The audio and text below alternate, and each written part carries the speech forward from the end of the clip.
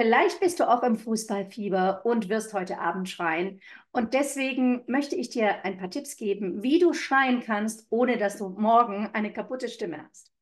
Punkt Nummer eins, achte auf deine Körperspannung.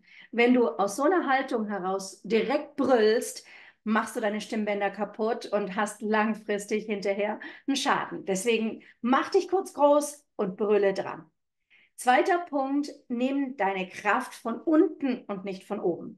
Schreie also eher aus der Tiefe heraus, wow, und nicht, sobald du hier oben schreist, geht deine Stimme vollends kaputt. Schon dieses kleine Ausprobieren gerade, höre ich jetzt gerade schon auf meiner Stimme.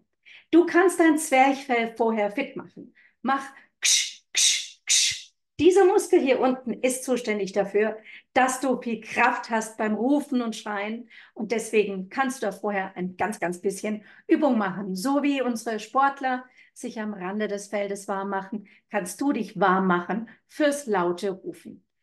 Dann achte beim Schreien auch darauf, dass du den Mund weit aufmachst. Je zuer du bist, desto mehr Anspannung hast du im Hals und machst damit deine Stimme zusätzlich kaputt.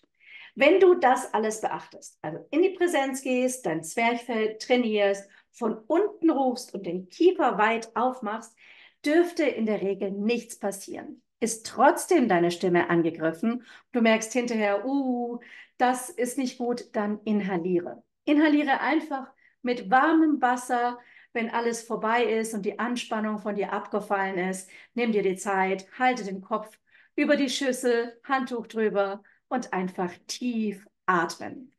Wenn die Stimme trotzdem wirklich am nächsten Tag im Eimer ist, hilft nur möglichst wenig reden und nicht irgendwie mit einer schonen Stimme sprechen. Das macht deine Stimme eher kaputt.